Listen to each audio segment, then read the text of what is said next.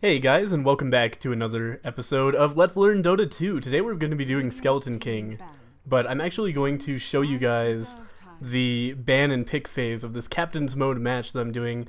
We are uh, with Dennis, Emerson, Mijimu, and Cam in this game. It was a five stack. I'm of course post commentating. They're not actually here right now, but uh, that's so that I can focus a little bit more on explaining to you guys what's going on. So we're I'm showing you guys the pick ban phase of this captain's mode match because it's a little bit unusual. You might notice that we are just letting our time run out every time.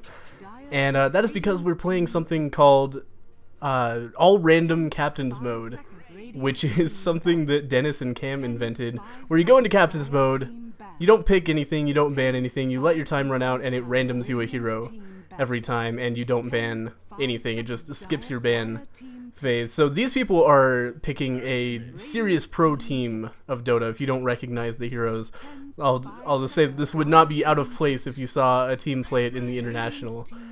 And meanwhile, we're just picking whatever the game picks for us. And uh, I will say that up to this game, we had never lost a game of all random captains mode, which is pretty fucking silly, given that we're just taking an all random team and fighting a team of whoever the fuck the enemy team wants to play. So our uh, our setup here is pretty silly. I'm in a second going to slow down the game back to one times, but our team is pretty silly. Uh, let me just go to player perspective here so we can see what I'm up to. That's not my player perspective. Here we go. So I'm playing Skeleton King. I hadn't played Skeleton King in a long time actually, but he is the reason I'm showing this game is because he's a really good uh, carry to start with. this is not what I'm actually clicking on. It, it, the shop looks weird because I actually had a Skeleton King guide open that I was opening. Um, yeah, I'm trying to decide what to pick up. I actually make a dumb mistake with like the uh, the items I am purchasing here and don't have quite enough money. I was thinking I could get all that plus an Iron Branch, but as you can see, I actually have 48 uh, left, and I'd love to go to grid view here, but all this shit is in the way. Oh well, fuck it. Whatever. I might need that sh shit to uh, like go to free camera or something like that. But anyway, why did I switch to Cam's perspective? Why did I switch to Cam's perspective? Go to Skeleton King. Oh, I was probably looking at Cam's items. Um, but yeah, anyway, so I'm actually going to wait here until the game starts to pick up an Iron Branch because I only need five more gold for it and that doesn't actually take very long. So I'm going to be slightly behind our creep wave, that's not a big deal. I would not necessarily recommend this setup. I would probably skip uh, either one of the tangos or the Gauntlet of Strength and just buy some Iron Branches because that would be a much more efficient build, but I did my math a little bit wrong. But that's no big deal. Uh, so I'm going to go and follow the creep wave now, trailing slightly behind. But anyway, we have a really silly team here because we only have one support. So we're going to be sending Razor mid, and Queen of Pain in the off lane solo.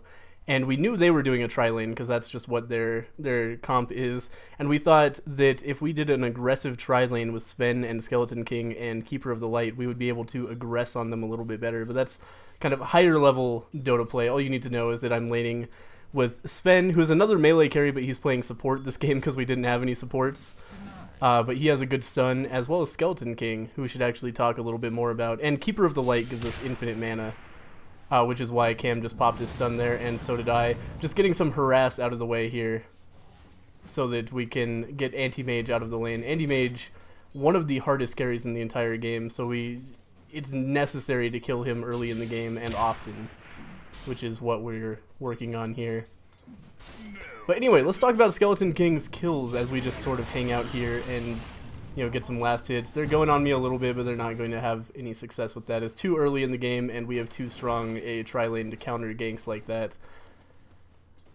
Um, but anyway, we have Hellfire Blast, which is a stun that uh, stuns for two seconds, has a 20% slow, and does damage over time and damage on contact as well. So it's a good way to get somebody dead. You can keep them in place for a little while as well as you know, get some damage on them immediately to maybe finish them off and also get some damage over time so maybe even if they manage to run away from the fight, they're still going to take some damage. We've also got Vampiric Aura, which we're not going to pick up just yet, but that is an area of effect lifesteal for any melee units uh, near you The unfortunate thing is, that this also applies to creeps, so you don't want to get it too early if you're playing Skeleton King. It's a terrible idea to level this while you're still in the lane, because if your creeps have lifesteal, they're going to push toward the enemy tower, and that's going to be dangerous for you.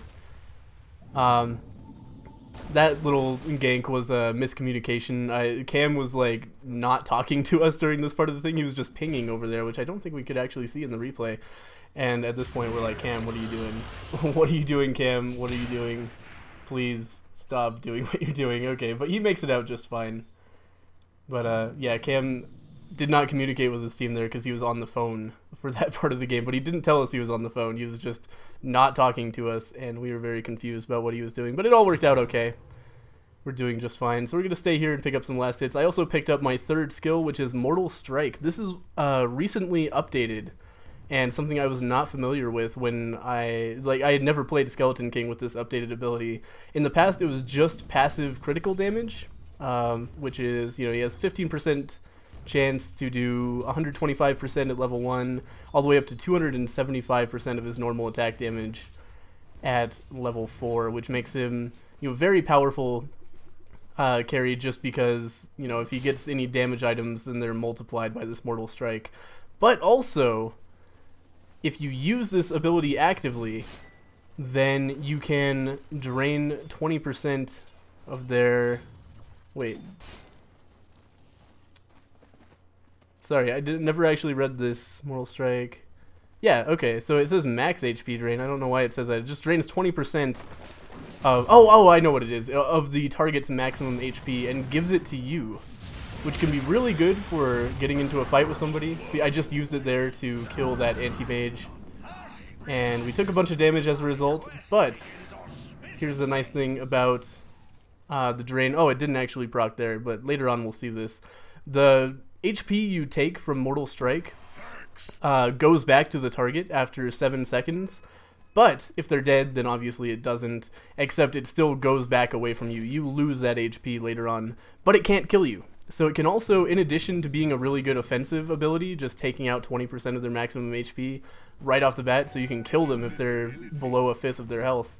You can also use it to escape by taking HP away from whoever's attacking you and then running like hell because if they can't kill you before the uh, mortal strike goes away, then you uh, you're good. You you'll go down to one HP, but if they're not there anymore, they can't finish you off. So it's a very useful escape, and we'll see that in the future. I should also mention that if you use Mortal Strike, you can't crit anymore uh, from that ability until the HP goes back and the you know it's back off cooldown. So it's not something you want to spam all the time at all. It's something that you want to use either to save yourself from dying or to secure a kill. But you want to use it very near to the end of the kill because you're going to take away your ability to crit. But it's a really interesting ability because you you know it gives you HP and takes HP away from the enemy, so you can really use it to win a fight that it didn't look like you were going to be able to win. By you know you're fighting somebody down, your HP is going down faster than theirs, but hey, 20% of your HP just went to me and now you're dead. So it's a very nice cheeky finisher move as well as an escape, and uh, it makes Skeleton King a whole lot better. You know, before this patch, I didn't like Skeleton King that much, but after this game, I actually, I uh, I feel like he's a much better character. You can also, oh, they're going on me, but, uh, you know, oh, that lift from the Rubik is bad, but I stole HP from the anti-mage, which gave me a bunch of extra HP. He's going to come and try to kill me. The HP goes away, but Cam manages to block him in, and I survive just fine, which is pretty crazy. You know, and that's that's the sort of thing that, you know, Skeleton King is so much better, and I just went back because Dennis said he had a salve for me, so I was like, yeah, why not? I'll take uh, take some healing from our support here. And by the way, the first thing I'm going for here after my initial items is Power Treads, which are a really common carry item. I'm going to pick those up. Those will give me some more strength as well as more attack speed, which is always good, especially on a, uh, a melee carry. You almost always want to go Power Treads. Be, or not melee, sorry, strength carry because you know power treads often present a sort of a dilemma. You can change them to give you any attribute, either intelligence, agility, or strength. So it's often a toss-up between do I want more damage from getting my my primary attribute up, or do I want more health from getting strength up? With a strength carry, no big deal. Ah, I missed that last hit, unfortunately. But yeah, with a strength carry, it's no big deal. You just leave him on strength because that gives you more health and more damage, which is a win-win for sure. So that's our that's our first build. I actually have enough to buy it, but I'm waiting until the lane pushes slightly so that I can pick it up from the side shop instead of making the courier deliver the gloves of haste that are the final part of power treads. So treads you almost always going to be a good first item for the Skeleton King. I should mention that I'm being a little bit fast and loose with my stuns in this lane compared to what I normally would do if I was playing Skeleton King. But the nice thing is that I'm playing with Dennis here, Keeper of the Light, who one of his abilities is just give your friends a shit ton of mana. So Cam and I have been able to use our stuns over and over again, which is why we decided this would be such a strong lane. Despite the fact that Cam is a carry playing a support, but you know, the stuns are good utility, and he also has an ability that makes everybody nearby move a little bit faster, and I think attack a little bit faster as well. And here's another clutch escape. I'm about to die, steal HP from the Jakiro, run the fuck away. HP goes back, but I am down to 1 HP, and I just run like hell, and I'm totally fine. Cam uh, makes it out as well. And that is another kill that they absolutely should have gotten on me, but that Mortal Strike saved my life. It's a really important ability that I feel like a lot of new Skeleton players will um, not quite understand how to use, but it's, you know, I it's really valuable as a defensive ability. And, uh, oops, shouldn't be hovering over the, oh, never mind, that was me. Past me was hovering over the TP scroll, not present me. Buying a teleport, buying a couple teleports so I can get back. I finished up my power treads. At this point, I'm going to be working toward an armlet of more dig Mordiggian. Uh, can't go into the shop. I'll have to go into free camera briefly, but we're just sitting here healing. Also, can't get to the search bar because all this shit is in my way. Oh, here it is anyway. Uh, armlet of more... Where did I go? I'm coming down here to uh, push back from this Weaver who was trying to push down our tower. Uh, armlet is a really common strength carry item because it has an active effect that gives you uh, plus 25 strength, plus 10 attack speed, and plus 31 damage, which is really substantial buff. But it drains 40 HP per second, so you have to be a little bit careful with it. But uh, later on, we'll see how the armlet works a little bit more. I'm going to go back to player perspective. And we're going in on the Weaver. We chain stunned him with Cam's ability in mind, but Weaver used his ultimate ability which makes him go back in time to whatever HP he had then. So we popped his ulti, but we did not manage to kill him. I again use a clutch Mortal Strike to get out of there just in time. Wouldn't have quite died from that one, but uh, it would have been way closer.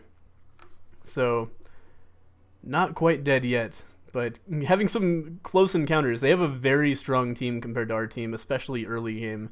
So we're struggling a little bit but we know that if we can just get, you know, Skeleton King, Queen of Pain, Razor farmed up, then we can have a really good chance of beating them in the late game, except for that anti-mage, who we, uh, we've been killing repeatedly, so we're still in an okay position there. But it's, uh, it was a weird situation for sure. We were fighting a pro team with basically, like, a noob pub team. Like, everybody wants to play carry, nobody wants to play support. One dude picks up Keeper of the Light, and that's all we got. But uh, you know, we're we're doing very well given that situation. I just sold my Iron Branch to pick up a uh, Blade of Attack, which is a part of the armlet. Um, and it gives me a little bit more damage as well, so it's worth more than the Iron Branch at this point. Iron Branch is really good starting items because they give you really cheap attribute bonuses, but they get way worse as the game goes on because they're, uh, you know, they take a whole inventory space for plus one to all stats, which is not very good. We're going in on something here. I was confused about something. Apparently it has walked away from the last hits, but I'll pick that one up. I think I thought there was a fight going on up there, but uh, they got it. A little bit weird watching myself react to voice communication when I don't remember what the voice communication was. Uh, but anyway, I'm just picking up more items here. Skeleton King is one of those heroes where if you get a lot of items on him, then he becomes almost unstoppable. And I should, by the way, talk about his ultimate, which we're going to pick up pretty soon. His ultimate is really good, and it makes him really good for beginner players, because it's not activated, you don't have to do anything to use it. All it does is if you die and you have enough mana, which is 140, then you come back to life. That's the whole thing. Uh, it's like a free Aegis of the Immortal from fighting Roshan.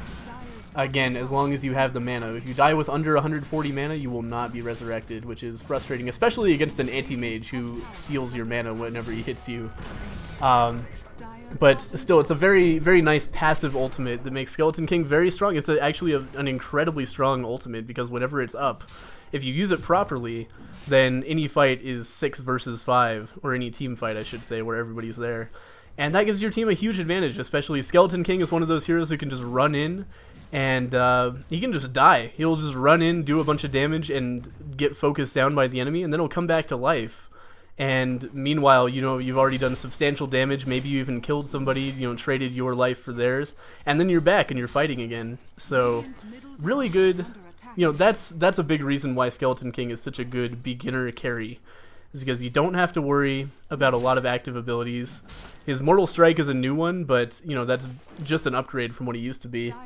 Because you know it's a it's a situational thing. If you're not comfortable using it, you don't have to.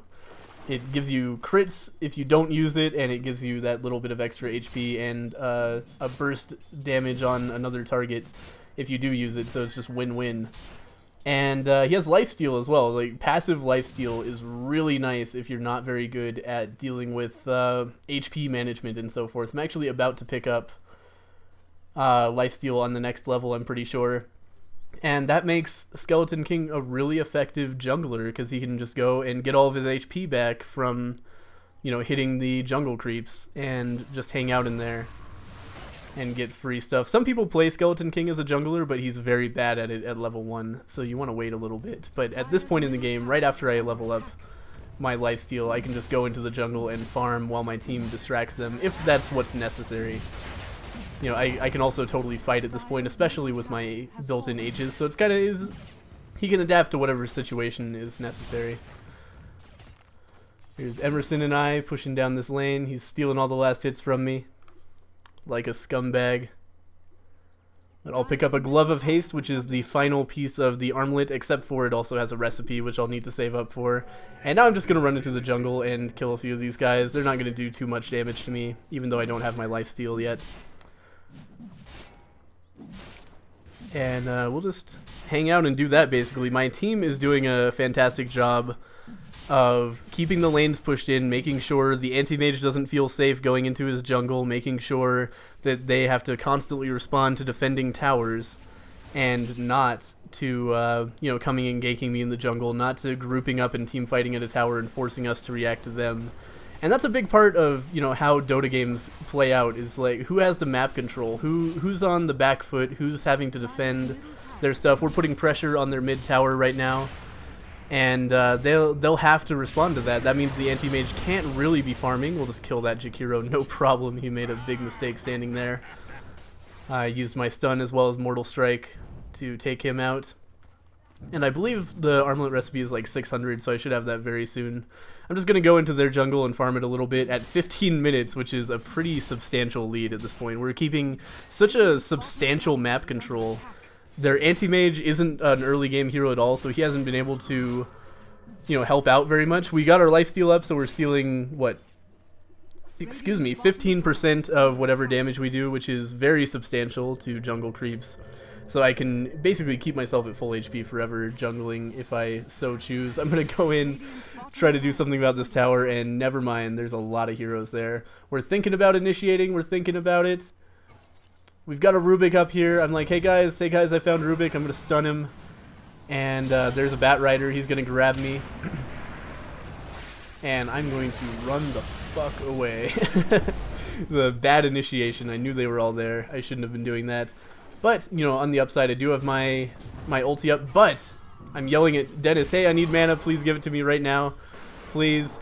And don't trade yourself for me because I am going to come back from my, uh, from my ultimate and there it is. I'm back up, and we're going to continue running, and in a second we're going to decide to turn around, maybe. Nah, Dennis doesn't have any mana, so he can't do anything too much. But uh, we're going to get out of that engagement just fine. And that's the nice thing about Skeleton King. He's so hard to kill. He's so hard to kill. And, which means that you can do a lot of crazy stuff like that and end up totally fine, you know, not behind at all. I did pop a 240 second ultimate out of that mistake. So it's not like I came out of it without a cost, but, you know, it's way better than just dying. And it's not good to leave your ultimate just sitting there on cooldown either. It's there it's a common mistake being way too defensive as a skeleton king. You want to use your ultimate just like any other hero. You just you want to use your death for you know times when it's going to be useful to your team.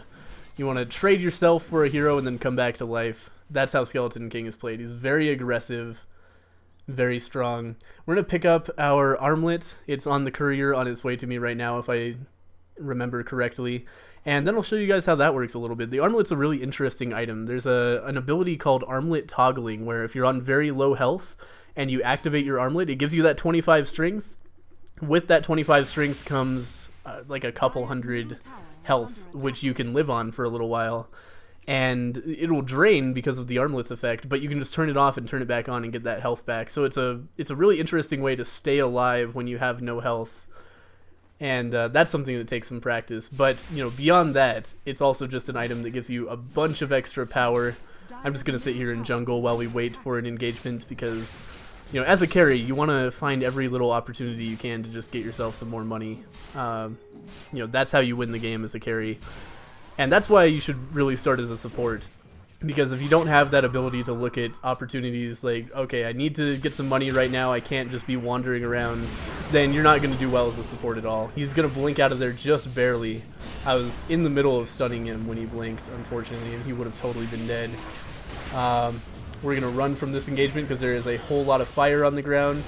Emerson's getting hurt but Mekansm from the uh, from dennis is a really big deal We've got Weaver coming in. I should mention that Weaver, when he does that little running around thing, we can't see where he is. Uh, he becomes completely invisible during that.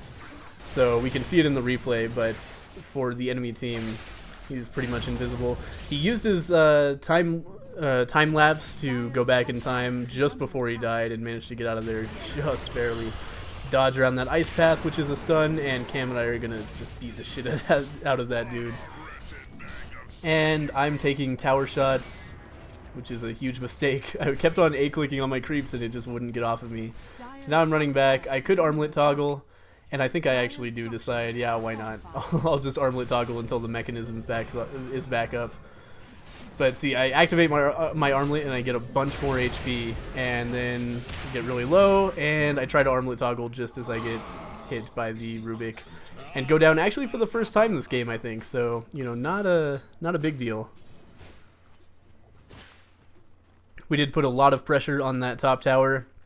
And meanwhile, we've got Queen of Pain down here just split pushing away. There's nobody down there because they all had to react to us. And this is how you win a lot of games. You know, you, you might lose a team fight, but, you know, if you lose a team fight and somebody pushes down a tower during that, then you can easily say that you've won that battle. Taking a tower is, what, a thousand... Yeah, over a thousand gold for your team. And uh, plus, you know, it's more map control, less places for them to teleport to, and you're closer to their base. So, you know, I've won a lot of games losing team fights and taking towers. I'm just going to go back into the jungle and farm at this point. Because that is Skeleton King's job, really. Just go and get a bunch of money. And if you get enough items, you pretty much automatically win. It's just, it's so strong having that built-in huge life steal. That gives you a lot more survivability in team fights having that um, having that those crits if you get a lot of damage built with that that's a lot of uh, well a lot of damage basically a lot of extra damage that other people would not get from those damage items and it's just it gets out of control if you build enough damage. We've got our armlet we're working toward a skull basher right now which is more damage and also a little stun sometimes. There's a 25% chance to stun for one second I believe uh, every time you hit somebody, which is really good for chasing people down and getting them out of fights and interrupting abilities and just general general stuff. I'm going to hit these creeps a little bit because you can't lifesteal from buildings, including towers, but we can lifesteal from those creeps, get a little bit of health back. And I thought about pushing in more, but it was a bad idea. I'd back off, and we're going to take Roshan, I believe. Uh, Roshan, if you're not familiar, he's this big guy in this pit right here, and if you kill him, you get an item that brings you back to life, similar to my ultimate. And, you know, similar to my ultimate, again, that turns any team fight into 6 on 5, which is a really big deal. I'm just going to turn on my armlet and start hitting him. Dennis is going to pop the Mekansm for more health and more armor for us, and we're going to take down Roshan, no problem. I was thinking about picking up the Aegis, but I was like, eh, no. Um, Emerson can actually take it. I would have put it on maybe Queen of Pain, but Queen of Pain has a lot of escape, so maybe it's good that Emerson got it. I thought about picking it myself, uh, picking it up myself as well. I could live, you know, twice in a row. I could just die, come back to life, die, come back to life again. But that's not really as useful, I don't think, as having two heroes come back at once. So it's good to split up the Aegis, but there's certain certainly situations. Ah, oh, so close. I again was in the middle of trying to stun him, and does he die? I think he might die from the poison. Yeah, he does. He died from Queen of Pain's poison. Anti-mage is down. And at this point, we're just steamrolling out of control. We have a, a huge tower advantage. They only have one tower down. We have five down. and the game is going fantastically. Again, despite our random picks, which is really silly.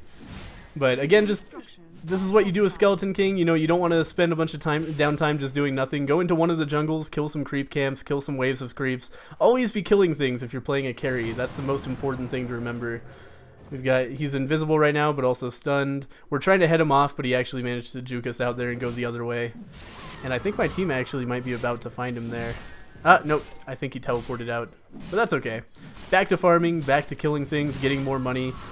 Gonna have my Skull Basher up very soon. I think I need about like 250 more gold for that. Just walk into a wave of creeps and kill it, because I don't care. Emerson's gonna come and steal all the fucking last hits because he's an asshole.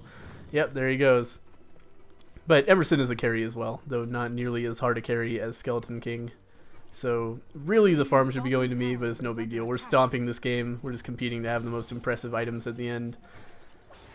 And I've actually been doing a, fa fairly poor job of securing kills in this game, so my, my farm is not the greatest. I think I only have like two or three kills at this point, which is not that many compared to the 16 our team has. Other people have been picking them up. Skeleton King, it could be hard to actually get the kill with him. He doesn't have good finishing moves besides his Mortal Strike. But, uh, we'll stun that guy, come in here, stand in the fire because we're all idiots apparently. Or, oh, I got stunned in the fire. Uh, we, I'm going to try to armlet toggle. I did it. Oh man, so close. Yeah, you can see my, my health got super low and I just turned off my armlet, turned it back on, got all my health back. Not all of my health back. Like, what is? It's like, it's uh, almost 500 health, so it's substantial. Uh, what you get for turning on the armlet. And we're just going to take down this tower. I'm going to continue armlet toggling probably shouldn't be here anymore. Probably should just back up, but I am a big help in taking this tower down. I'm super low. I'm going to armlet toggle again. Come back in because I'm crazy like that. I do have my ultimate up.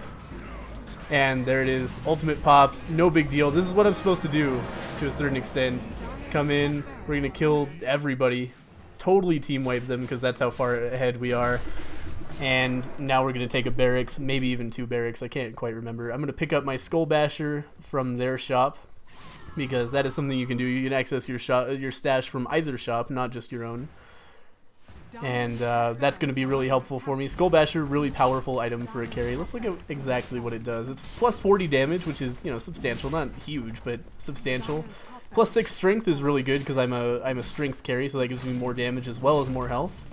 And uh, I'm melee, so I have a 25% chance to stun for 1.4 seconds every time I hit somebody. It also has a cooldown of 2 seconds, so you can you only trigger one bash every 2 seconds in addition to the 25% chance. I'm going to come over here and say, hey guys, we should probably take this barracks as well. So we're going to start killing the creeps over here, getting our creep wave up to that tower, and then we'll just push down the, uh, the second racks and pretty much all games are over when you have two racks down, especially if you still have all of your tier 2 towers, which we do. There's almost no way for the enemy to come back from that, because when you get barracks down, that makes all of your all of your creeps, if you've taken their barracks down, all of your creeps become substantially more powerful, which means that they'll win against the enemy creep waves, and the team will have to, the enemy team will have to all the time be defending against those waves. They'll push into the barracks by themselves and uh, try to take the tower. I took a bunch of damage there, and I think I make a huge mistake here. Let's armlet toggle while I have a damage over time effect on me. How about that? Uh, you have to remember that when you armlet toggle, you do go down to 1 HP for a, a split second. If you're getting uh, damage over time effects hitting on you, which I was from the uh, Batrider fire, I think, then that's a terrible idea because you're going to die. Uh, in that in that split second when you have one HP. So that was a big mistake on my part. Poor armlet toggle, but doesn't really matter. I believe we took down the tower there. Let me go to free camera for a second. Oh no, we took down the whole Rax. So you know, trading a few of our lives for an entire set of barracks is easily, easily, easily worth it every single time. If you can sacrifice yourself to take down a set of barracks, every time, man. It's it's really good. We've got now two sets of barracks down. They could still maybe kind of come back the, from this if Anti-Mage farms super hard. What does he have? He has his Battle Fury up at 27 minutes, and that's it. He doesn't even have, uh, you know, Power Treads yet that's a pretty bad situation for that Anti-Mage to be in. He's one of those heroes where if he hadn't gotten killed so hard in the early game, he could have easily come back and killed us even after we had a set of racks down, but he's so far behind at this point that it's extremely unlikely I'm going to go back to Skeleton King. I'm just hanging out here. I'm like, hey, I'm just gonna wait here until we're ready to fight the the people. But in the meantime, I'm just gonna hang out. I'm gonna take advantage of the fact that I'm so hard to kill just hang out close to their base and make sure that every single one of their lanes is pushed up into their base, which means they can't leave, which means anti-mage can't farm, they can't go into their jungle, they just can't really do anything, and uh, you know that's how you that's how you press an advantage. Just war of attrition, siege their base, make sure they can't get out, and eventually you'll be able to go in, or the creeps will just go in and start destroying things for you. And uh, we're going for the last set of barracks right now. If we take down this third set of barracks, the game is over like 99.999% of the time. All of your creeps get even more powerful than normal mega creeps uh, from one lane of barracks down if you manage to do that. I was running in there being a little cheeky because I had my ultimate up. I forgot that Anti-Mage takes away your mana every time he hits you, so I actually didn't end up with enough mana to come back to life, which is unfortunate, but that's okay. Meanwhile, you know, while I posed that distraction, my team took out two of them and a third tier barracks tower, which is going to make it even harder for them to defend because now that barracks won't fight off creeps by itself, and if we just get a wave of creeps pushing, they have to take care of that, as well as the two sets of mega creeps, which, by the way, are pushing into their tier 4 towers in front of their ancient right now. So it's uh, it's looking pretty dire for the dire, if I may make a silly joke. I'm dead again. Let's go free camera and see what exactly they're doing here. Anti-Mage is just like, okay, just give me the tiny bits of money I can get from killing these mega creeps, please, please, please.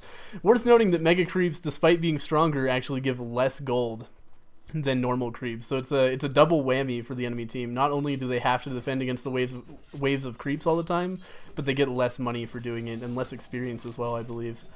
So they're just doing what they can, keeping our creeps out of their base.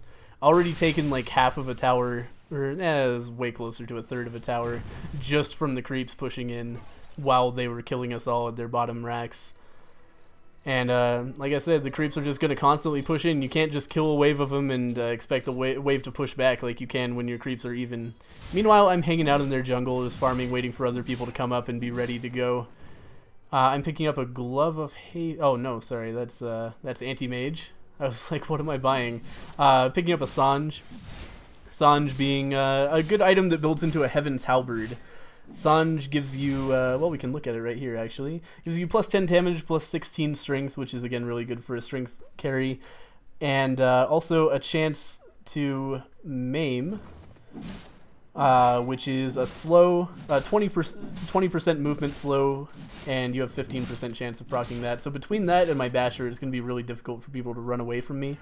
But the main reason I'm buying that is to build into a Heaven's Halberd. I can't go into the shop right now. Let's, uh, yeah, let's go to free camera. I don't think we'll miss anything. Let's look at the Heaven's Halberd. It's basically the same thing, except a little bit more stats.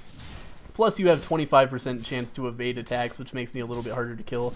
Plus, the active is if you use it on somebody, then uh, for four and a half seconds, they cannot attack. They, they can't use their right click abilities, which is really good for that anti-mage because the mana burn is the most dangerous thing about him.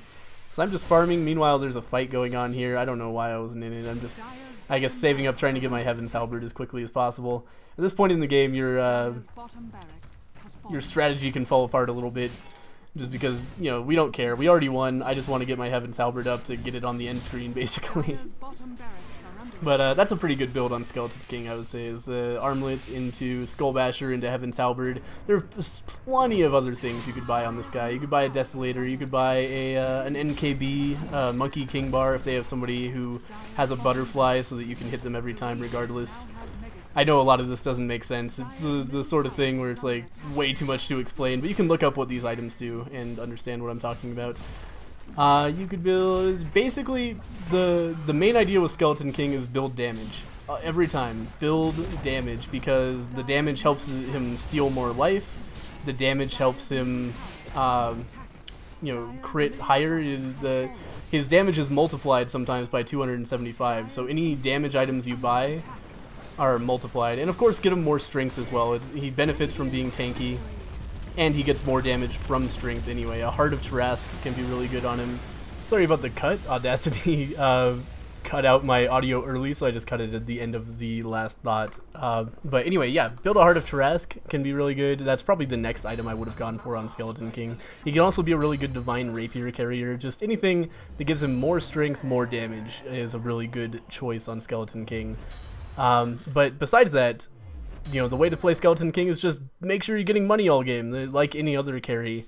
You don't want to spend a lot of time idle. You always want to be getting experience and gold somehow, whether you're in a fight killing people or just hanging out in the jungle. So, um, you know, that's how you play Skeleton King. Hopefully this guide taught you guys something about how Skeleton King can be used and how to play carries in general. This is the first carry guide I've done you know, in the past I've been doing supports for a good reason. I think you should really start with supports. Even though Skeleton King is really easy to play, he's also very important to the team. So, you know, if, if you play a support and you play poorly, that's not a huge deal. You know, you might feed the enemy some gold, but your you being behind, not building your 20 minute Mekansm or whatever, is not going to, you know, ruin the the your team the same way, you know, being at half an hour with power treads and a magic wand on Skeleton King might do.